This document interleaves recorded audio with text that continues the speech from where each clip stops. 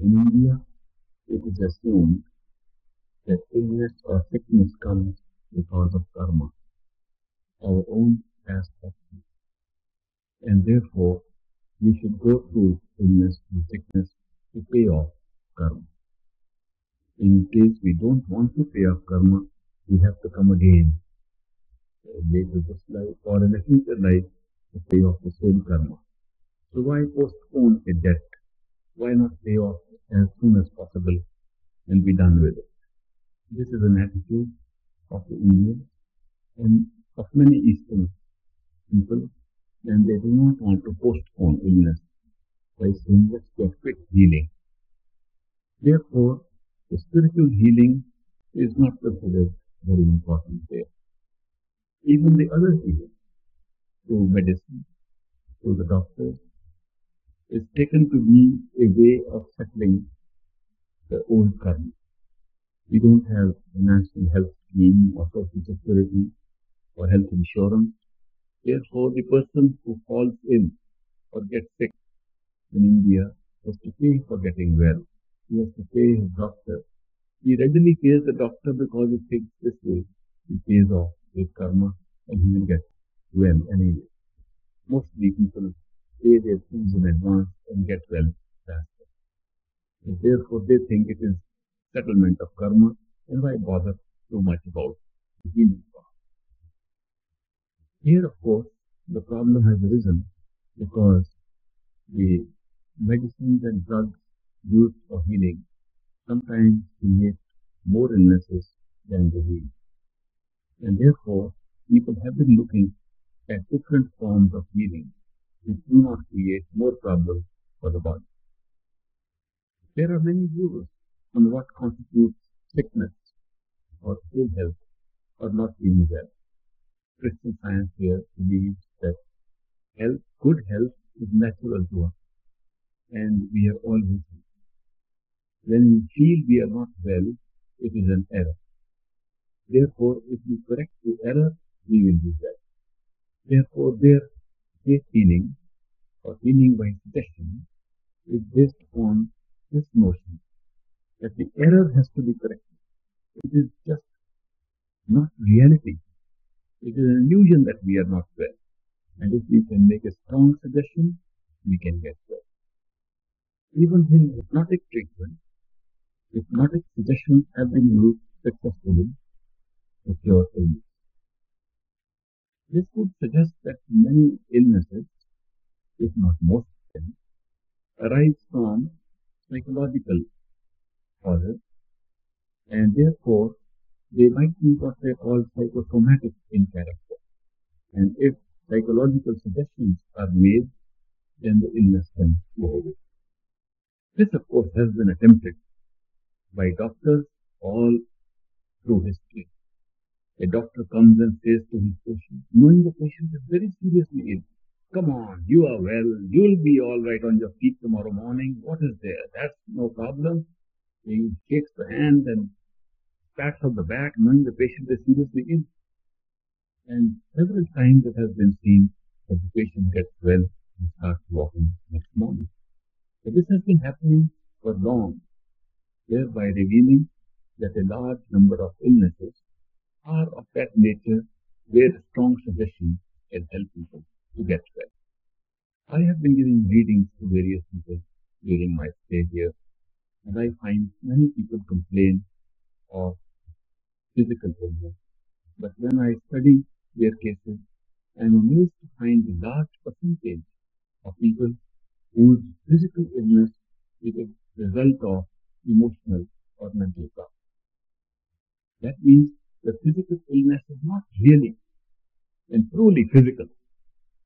It is an emotional imbalance, an emotional upset, or a mental problem, or some hang up somewhere which is creating symptoms that are Symptoms are generally physical, and therefore we start thinking that the illness is physical.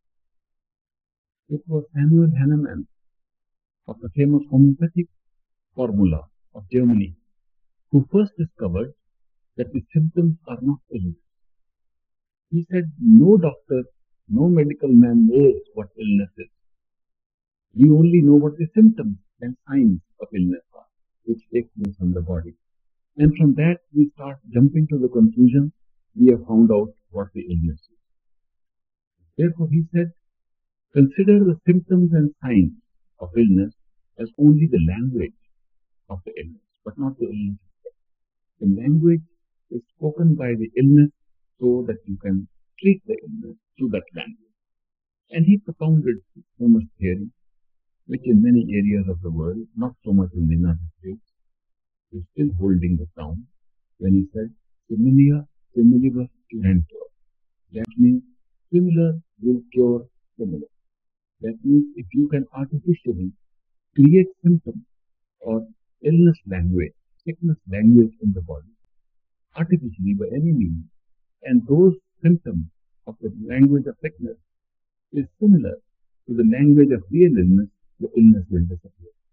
Much later, people in this country trying out a program for training called est, started by Werner Erhard, came across many places. They came to India also and conducted some courses. and they said that what is the reality? What is this experience? And an interesting point they made was, if we can mentally create the same symptoms which occur in nature, the illness will disappear. They assumed that what is looking like experience is a one-sided creation of the mind. And if we recreate at the same place the same thing, both must disappear. For example, take these flowers. These flowers you can see and experience. Supposing you could create by any means whatsoever the same set of flowers, identical to them, at the same location, at the same time, what would happen? if you created both the sets of flowers, one that are already visible and existent, and one that you create artificially, identically at the same place, what would be the result to expect? Even according to modern physics, the result to expect would be both sets will disappear. You won't see any flowers at all. So if anything is existing and being experienced by us, if an identical thing is created at the same spot at the same time, both of them disappear. This has been sometimes referred to as the annihilation of any form of matter by antimatter when they come in contact at the same point at the same time and they only release energy and disappear. So in this way, if sickness is caused by energy changes, it's caused by certain experiences. A, a disease or an illness about which we do not know but whose language we can read through the symptoms, and if a similar strong suggestion can be made, which takes our attention to the same areas where that language is being spoken, then both disappear. That means suggested illness as well as real illness, both will disappear. This is in fact the basis of strong suggestions that are made by different people for the purpose of healing. Now, it is very easy to use this method when we come to spiritual healing because the spiritual faith depends upon receptivity to suggestion. Nobody accepts anything unless there is a strong suggestion. Most of the religions thrive on suggestion. Most of the spiritual groups, they thrive on suggestion. So when a strong suggestion is made by someone whose superiority we accept, then very often the suggestion works and the same symptoms which we are watching out because of the suggestion will disappear from the body. So there are a large number of cases where these cures have taken place, where people have been healed by the power of suggestion. Of course, people have now used even the power of their own suggestion or auto-suggestion to heal themselves.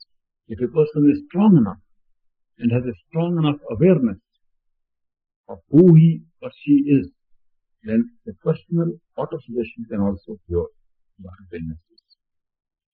Now I am uh, surprised at the large number of illnesses arising purely from psychological, emotional and mental causes, which means that a large number of illnesses that we see around here can be taken care of by this kind of suggestion.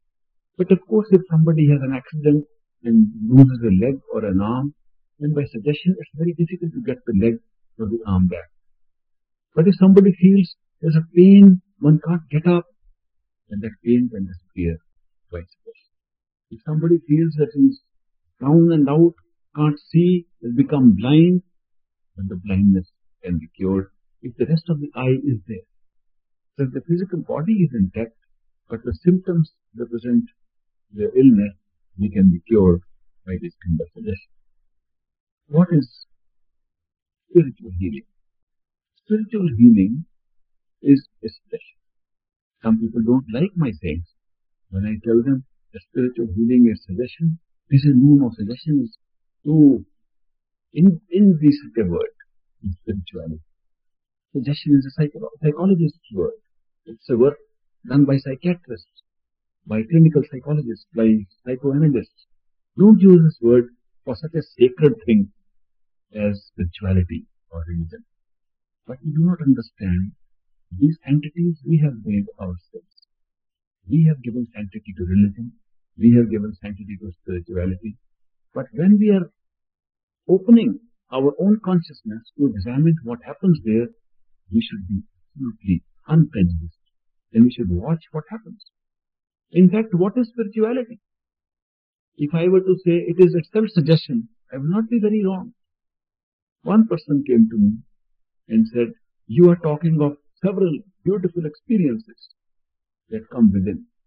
And you say, if your soul goes to higher regions of consciousness, higher levels of consciousness, you see very beautiful things. Don't you think it is all a suggestion? And to his surprise, I said, yes, it is a suggestion. He said, then why do you make it sound as if it is real? I said, I make it sound it is real because what you are now seeing and which you call real is also suggestion. What you think is your life today, your world today, this is as much a suggestion as the one I am suggesting. But this one you want to take as real and that one you want to take as suggestion. That is why I am pointing out to you that I am willing to go along with you. That even these spiritual experiences are a result of suggestion. But so is the present life that we have created. Illness is not the only part that comes by suggestion. Even the feeling of good being, of being well, even the feeling of doing things, even the feeling of having a world around us, even the feeling of what people mean to us. It is all because of the power of suggestion. We are creating our world under a strong power of our own auto-suggestion. This world is coming into being because of auto-suggestion. And therefore, within this grand auto-suggestion that creates the world, any other kind of suggestion also works. So spiritual healing is also part of the same process of suggestion. But since in spiritual healing we invoke spiritual values, we invoke the name of the Lord, we invoke higher powers, we invoke good things, good values, therefore there is a double benefit. It not only psychologically cures symptoms, illness, but also increases faith in spirituality and spiritual values. That is why we give importance to spiritual healing rather than healing by psychological solution. In truth, the illnesses of the world cannot be healed except by the ultimate power of healing, which is the power of God. When we say, have faith in God, have faith in the Lord, and His power will cure you and heal you, what are we trying to say? We are trying to invoke the power of love. Because when we use the word God or Lord, we have nothing else in mind except the power of love. I have not seen any healing more effective, more lasting than that which comes by the power of love. So when you use love as your instrument, it always succeeds. On the other hand, it also heals you, the one who heals others. Because love is not a one-sided thing. Some people have asked me, what kind of gifts should we give to people? And I have always said there are three kinds of gifts. In turning very mathematical, I have been trying to calculate the value of gifts. And I said, you can give three kinds of gifts. One is the material gifts. You can buy something from the store and give it. You can give some cash or a check. When you give a material gift to a person, then you are losing as much as you are giving. If I had a hundred dollars in my pocket and I decided to give forty dollars to my friend, I'll be left with sixty. The friend will have forty, and I'll have a total of hundred between ourselves. So nobody is the gainer in transferring a gift of kind, of matter, material. Material gift has this weakness that it keeps the total assets at the same level. Higher than material gifts is the second category called gift of knowledge. When you share your knowledge with somebody else, you do not lose your own knowledge. Therefore, if I had a hundred units of knowledge and I decided to give 40 units to my friend, I would still have 100 units of knowledge. My friend would have 40. Between us, we would increase from 100 to 140. But the highest gift is the gift of love. Because you cannot give love without receiving that love. Therefore, if I had 100 units of love and I gave 40 units away to my friend, I would get 40 back. I would be left with 140. My friend will have 40. Total will become 180. QED. So it's a mathematical kind of thing. The point I am making is that love is a very strong force. When you share love, you get as much as it is not possible. I have not seen that happen, that you give love and don't get it back.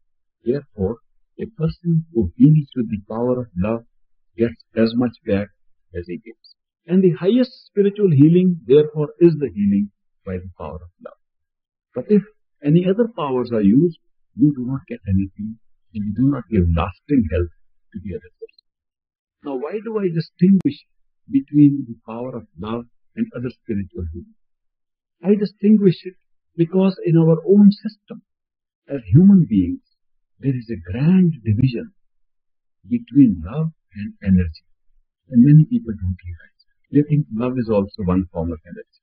Love is not. Lust is, attachment is, infatuation is. They are all forms of energy, but not love. This distinction between love and energy is made in the human body at a certain platform that exists in the body just behind the eyes. If you take this human body and draw a straight slit at the eye point and take it right to the back, the entire portion of the body below this works on energy. And the part of the body above this works on love. It looks very funny. I'm not really talking about the physical body that if you cut it open, half will be thrown up by love and the other will be left with energy.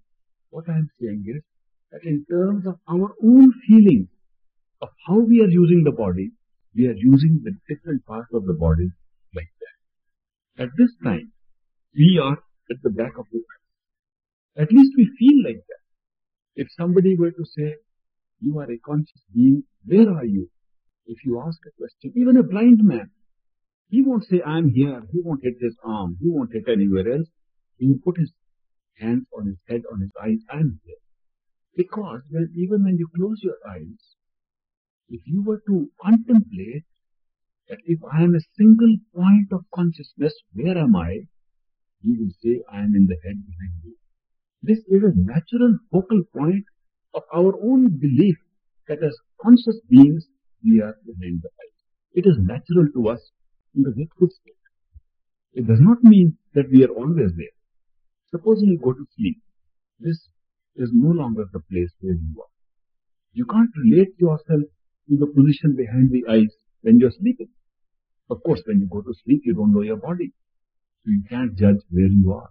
But when you are half asleep, when you're about to sleep, you can check. If you're very tired tonight, after you go back from the lecture, you're feeling sleepy, then while you're still alert, you do this little experiment and you say, alright, where am I? You close your eyes and see where you can see yourself. You feel yourself from where you are looking out. And your hands will touch your eyes. That's where you are looking out from. When you open your eyes, you will see exactly that that's where you were. And you were looking out from behind the eyes. Now you close your eyes, you are still there. And your eyes, closed eyes, the eyelids are in front of you. That means you have not moved anywhere. But when you are half asleep and feeling sleepy, again try and close your eyes and say, where am I? And try and touch where you are. Bring your hands up. You bring them to the nose. Nothing there. Start showing there's a little descent taking place. If you are able to retain consciousness and awareness of the body, and you are still more asleep, and you want to check up where are you, you bring it lower and lower. And if you could suddenly get up while you are dreaming and touch the part of the body where you feel you are when you are dreaming, you will touch here. So, descended the focal point of your apparent existence as a conscious entity in the physical body. So you are constantly moving. Depending upon the state of wakefulness, the point where you feel you are existing in this body, using this body, constantly shifts. From behind the eyes at the wakeful state to below the eyes in the dream state. When you're dreaming, it descends to the sofa. When you are going further into deep sleep, where you do not feel you are dreaming, and the dreams are instantly forgotten, then you are even going further down to the heart center. Most of our life we spend shifting the focal point of our own consciousness or awareness from where we operate between the eye center and the heart. And as we wake, we raise it. As we go to sleep, we go. This is happening all the time. But as we go down, we go into the area of energy. And this is the highest area of energy, the eyes. Above that we don't know, it's a brain. It's done for us. People say everything happens from here. The doctors say, those who have physiology, they open up and say all the nervous system is there. We don't feel it like that. I touch something hot. I feel hot on my hands. People say, no, you have felt hot because the nervous system has carried the message to the brain. I don't feel anything in the head. Similarly, if somebody comes and I get excited, I feel excited in the heart. People say it's happening in the brain that the message is going. I don't feel it in the head. We don't feel anything in the head concerning energy. All energy forces are operating at different centers at the eyes or below. Now these are, these energy centers have been referred to as the six chakras amongst our yogis of the East. The yogis wanted to examine the very complex structure of the human body and how does it store so much wealth of knowledge, memory, consciousness, awareness, possibility of knowing things that we do not know, possibility of precognition, of remembering past lives, of foretelling, of seeing the future, of dreaming things, or dreaming dreams that come out true. How does this body have all these capacities? It's all happening in the body. It must be a wonderful thing. It is a wonderful thing. It's the most wonderful thing that exists in this universe. I see the miracles of nature every day. You open the window and you see how the pretty color has come in the flower. It's a miracle. It's difficult to explain. Everything you see in nature is a great miracle. But the greatest miracle, how this great body can be balanced. In one of my earliest visits to this country, I happened to visit one of the computer centers where one of the largest computers used in space programs was housed. And I met the director of that institute. He showed me a computer. In those days, they were not so miniaturized. They were big sized and a big room occupied the whole computer. So I saw that and I was very fascinated by the large number of miniature circuits that had been created artificially by man. The director of that institute told me, this is the largest computer that we have made. It can take in 10 million bytes of information, can take in 10 million bits of information according to a program and give an answer based upon a utilization of all of them or any of them. It's a tremendous thing. And I said, look at the ingenuity of human mind to produce such a wonderful thing all housed in one room. So I said, this is great. In such a small space, so much can be done. And the director smiled and said, but sir, right now on your head here, in a much smaller space, you are carrying a computer, which my computer has been able to calculate carries the terminal endings that can take 20 billion bytes. That is 2000 times bigger than my computer. So in such a small space in the body, there is a computer working in us which is 2000 times better and has more capacity than the best computer that we have made outside. But how come? How is it made? This body seems to be remarkable. So this is the greatest miracle. The human body is the greatest miracle in nature that God has shown us. When the yogis of the East decided to explore the body, they found that the body was working through energy cycles which were not easily visible. People felt that they could remember things, they could visualize things, they could walk, talk, do things, but they did not know that all these activities were taking place because of certain centers in the body that cause those energy functions to be performed. So they began to study through a very simple device which is called the concentration of attention on a particular thing. It's a simple device. We call it meditation, sadhana, we call it yoga. We gave it many more sophisticated names to this exercise. But the idea was that since anything that we want to know about is known to us only by using our attention, conscious attention, so why not use the same conscious attention to know what is inside the body? That is to say, instead of looking at a thing with the eyes, to concentrate outside. Why not think with the mind and concentrate inside? So they began to concentrate on various centers, the eyes, the throat, the heart, and they were able to see how these energy centers function. And when they concentrated their attention on each of these centers, they found that different experiences came up and they were able to understand how the energy fields operate. The six centers which they explored were the ones located behind the eyes, the throat, the heart center, the navel center, the center of the reproductive organs, and the one at the rectum. These were the six centers of energy, and they found that by concentrating their attention on the focal points, they could arouse un, unusual exceptionally strange kind of experiences in energy. And they were greatly marveled by that, and they began to design a system of yoga in which, through the use of power of concentration of attention, on the center. They could rise from one center to the other and come right up to the top. The top they thought was the eyes. Because when they came here, that was the top. They felt they had gone out of the head. Every time a person who did the meditation according to those systems of going from center to center, energy center, when it reached the eye center, it went like they had gone out of the head. It just shot out of the head. Though this portion they missed out. They never saw what happened to this portion. When they came to the eye center, they went out of the head. So this was a very strange experience for them. And they kept on battling with themselves. What is happening? What happens when we cross the eye center? They could not find an answer. Sometimes they have been saying that the attention goes out of the eyes. You can't hold it within. But the fact of the matter is that there is a grand division between energy and a higher force that exists above the ice. That is the force of love, the power of love. The power of love is not known to the power of energy. There is no love existing below the ice. Love does not take place from below the earth. Everything else can take place. There is a body that is involved in so-called love. We call it the emotional body.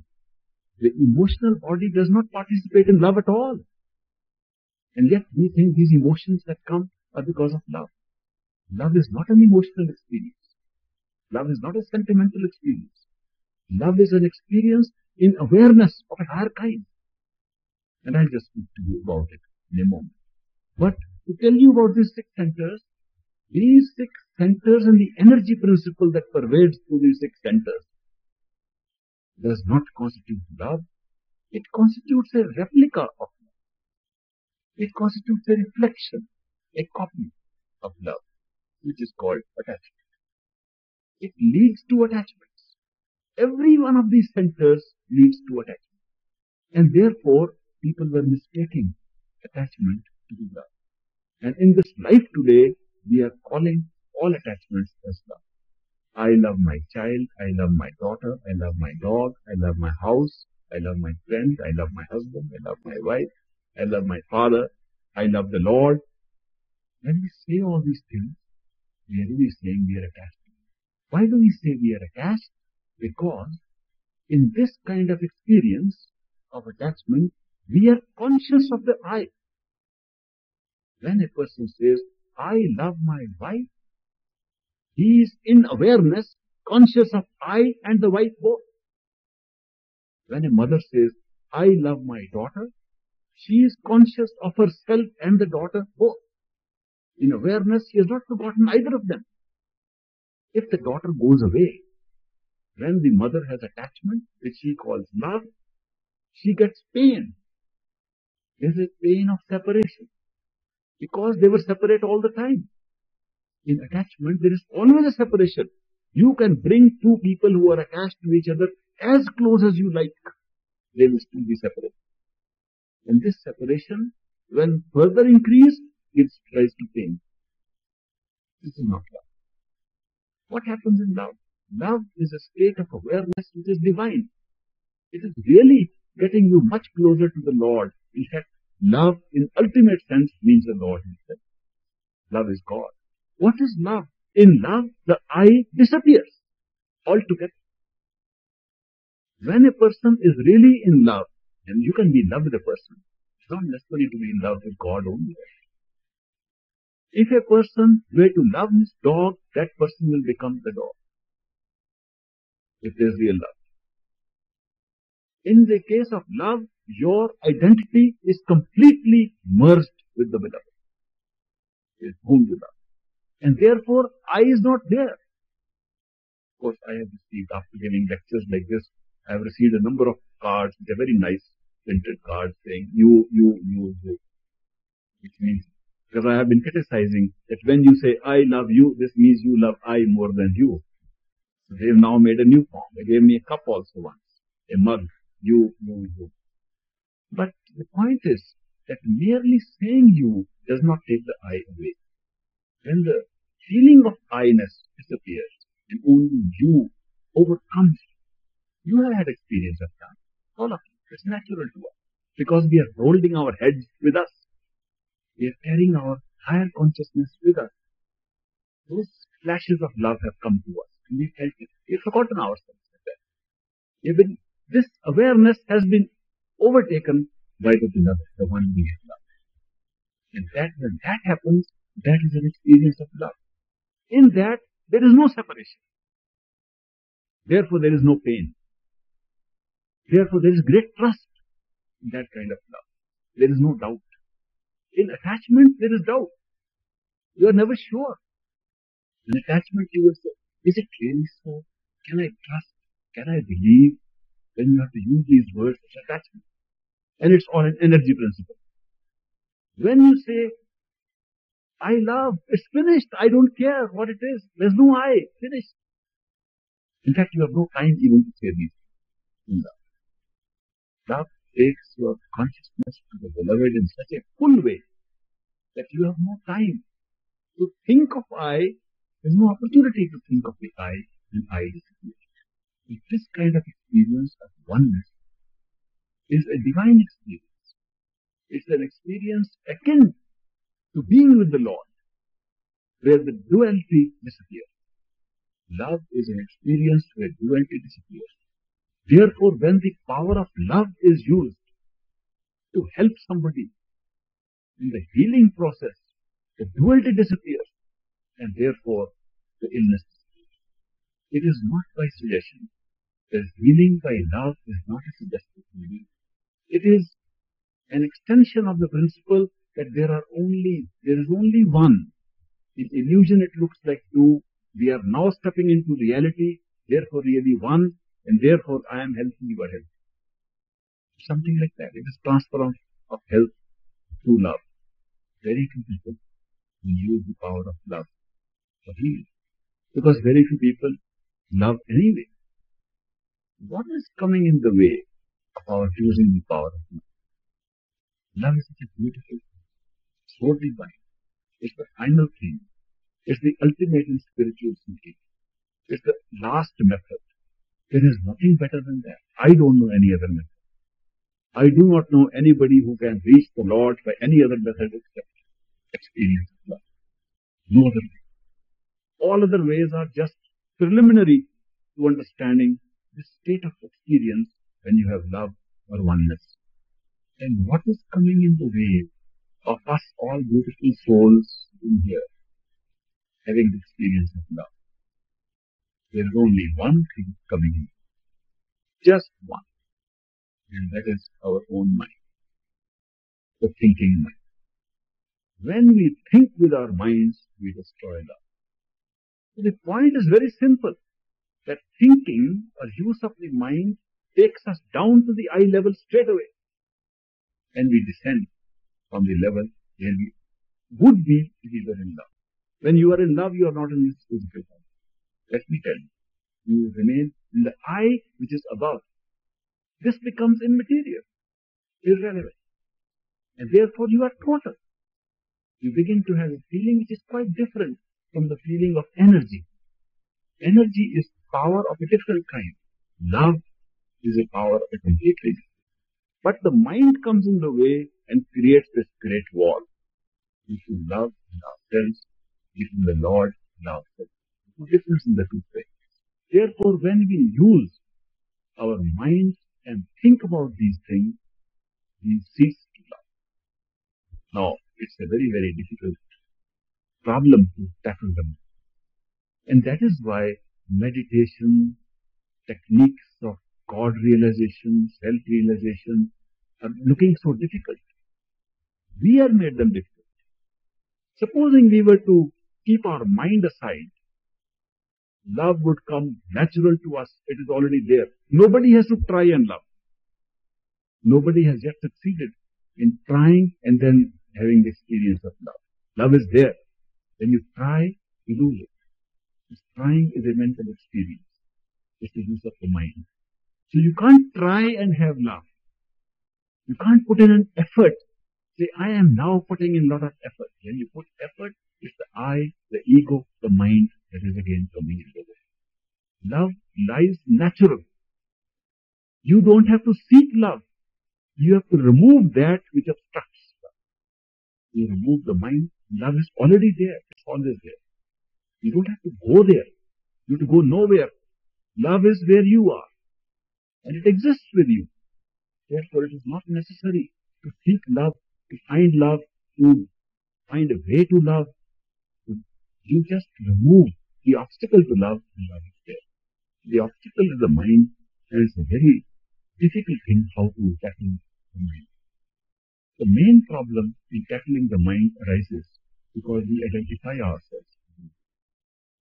And this is the major clue we have to how to tackle the problem of the mind coming in the way of love. Somebody wants to share love and heal people, that person must first tackle the mind. Otherwise, you cannot use the power of love for healing. If you have dealt with the mind, then of course you have the power to heal by love. If you think you are the mind, you can't tackle them. When a person tries very hard, I am going to control my mind. I will see to it that my mind doesn't bug me anymore, that my mind doesn't bother me anymore. I am going to try very hard this time. Who is saying all this? the mind. Just like saying, if a dog comes here, I'm going to turn out the dog by hitting it with its own tail. I take the tail and hit the dog and say, you go out. I'm holding on to the tail. Just like saying, I hold on to the lamppost, I can't get away from it. So I'm holding on. When you hold on to the thing that you are trying to get rid of, how will you get rid of it?